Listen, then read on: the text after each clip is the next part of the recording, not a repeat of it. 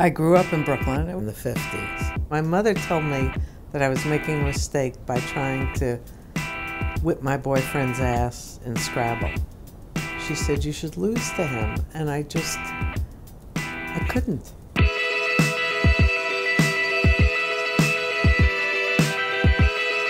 We wanted to move out of the city and actually buy a house. So we made the move out to Long Island. But I didn't realize what a huge change it would be. It was kind of boring. I felt isolated.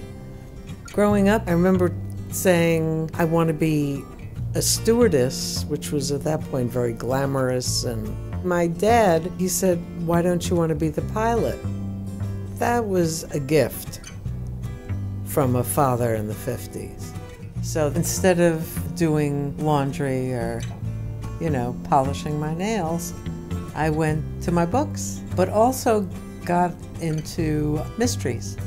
And I, it happens to all writers. At some point, you say, Oh, I can do this. As I was saying that, there was a character in my head.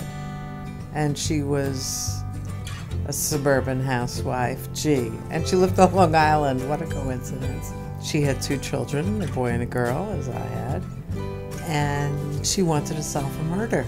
The book became Compromising Positions. I really want my women characters to do something out of the ordinary. They don't have to be swashbucklers, but they should be people who who gain something so that it, by the end of the novel they're fuller people than they were. And because that's what happens in life.